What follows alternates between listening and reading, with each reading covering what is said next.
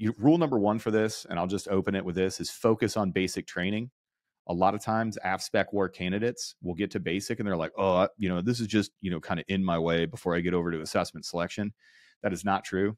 That's the wrong attitude. I'm going to tell you right now. Your checks are not signed by combat control. Your checks are not signed by pararescue. They're signed by the United States Air Force. So you got to go be a good airman first. So you're going to get to basic training and you're going to focus on basic. What do you got, Peach?